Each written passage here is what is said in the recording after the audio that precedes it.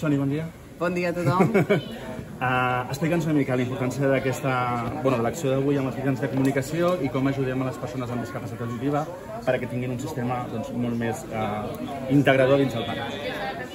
Bueno, jo el que crec, bueno, primer de tot, moltíssimes gràcies per, a, per haver vingut. Per nosaltres això és un pas més endavant dins de totes les polítiques que tenim d'inclusivitat al parc.